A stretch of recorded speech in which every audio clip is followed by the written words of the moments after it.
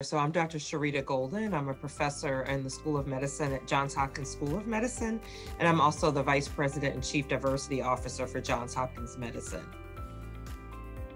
So we have vaccinated millions of Americans, and that's encouraging to me because, um, you know, we if we think about like the side effect profile or anything serious, you know, there have been just a few rare events out of the millions who have been vaccinated. So um, so I think that's encouraging news that should, um, you know, should motivate people in making their decision.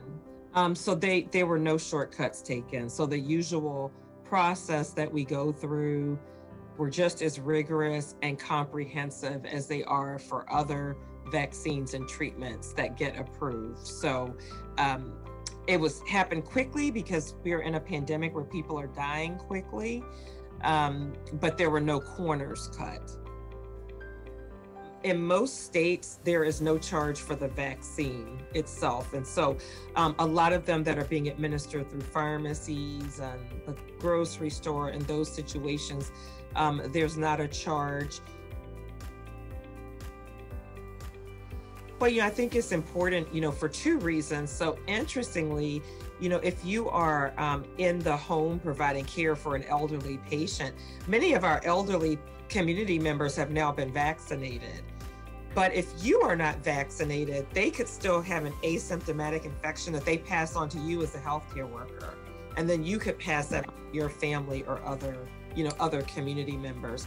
And then even though, you know, in many of our states things are opening up, um, you know, in terms of restaurants and other things, um, you know, if you are a healthcare worker and you are not vaccinated and you go into a social setting where people are not appropriately distancing, not appropriately masking, you could still pick up COVID 19. What is still happening that's not being talked about as much is there are still about 50,000 Americans getting infected with COVID every day.